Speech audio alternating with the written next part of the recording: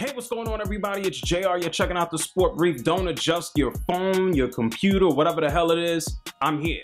I'm on YouTube. I'm on the internet. I haven't gone no damn where. I've been busy. I've had a hell of an interesting year, but my black ass is still here. And if you want to know where I've been besides being on YouTube, I started kicking things around on WFAN, and that's the sports leader here in New York City. You can also listen online, WFAN, and I have some other radio opportunities coming up. Uh, you can also find me with my main man, boxing analyst Teddy Atlas. We have a podcast that will be dropping. And at the same time, you can always keep up with me and follow me on Instagram at JR Sport Brief. If you don't know who the hell I am or if you've never watched, I run my mouth here and I talk to athletes and I have a good time. But most importantly, I talk to you. So if you got a question, a comment, my Twitter, my Instagram, my Facebook, I'm everywhere. Everything is at JR Sport Brief. And with the Eagles and the Falcons kicking off in a little while, and let's see if the Falcons actually go out there and choke. Maybe they'll choke early in the season as opposed to choking later in the season.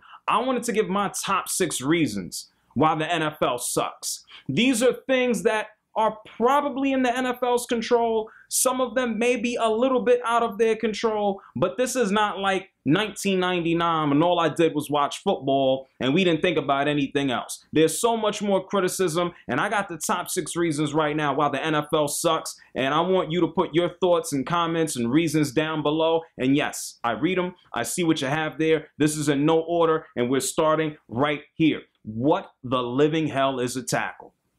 The NFL has an issue switching and changing up the rules. You can't lower your head. You can't lower your body. You can't lower your shoulder. Well, how the hell are you supposed to take down somebody like Le'Veon Bell?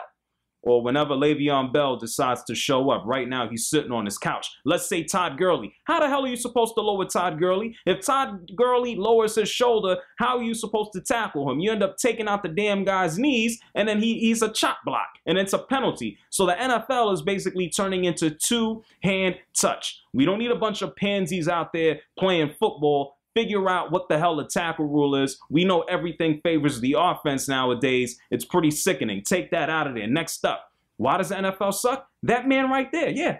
Roger Goodell, he calls the rules. And by the way, Roger Goodell has followed me on Twitter for like eight years. I have no idea why. I don't know if an intern clicked the wrong button, but hi, Roger Goodell. There are just so many discrepancies in regards to the punishments that go out in the NFL. He's supposed to be writing and running the ship, and he does a terrible job. Nobody knows what the hell is going on. And I don't think he knows what's going on in that photo as well. The next, what's a tackle? Well, what the hell exactly is a catch? Let's ask Dez Bryant what a catch is. He doesn't know either. Did he juggle the ball? Was he on his back? Did it bounce off a guy's back? How, if you catch the ball, if you have the ball within two damn hands, or one hand if your name is Odell Beckham, and you are inside the white lines, that's a catch. Stop spending 25 minutes under a stupid blanket trying to figure it out. These referees, sometimes I think they look at other things when they go into the replay booth. Why does NFL suck? That guy and that guy and that guy and that guy and that guy. Those are the owners of the NFL. Can you imagine having those guys be your grandparents?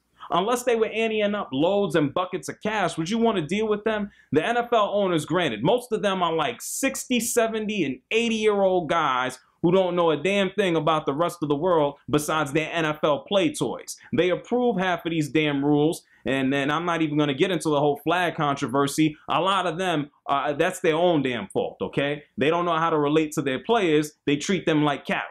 Yeah, I said it. They treat their damn players like slaves. The owners is what's wrong with the NFL. Next up, commercials. How many damn commercials do we need? Can we speed the football game up a little bit? I know it's a long game, but we do we really need a commercial after the kickoff?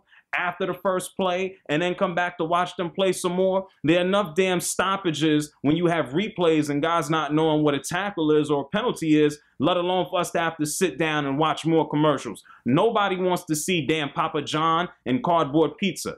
And thank God Papa John's ass is out of there. And last, why does the NFL suck? Because they got to deal with that guy right there.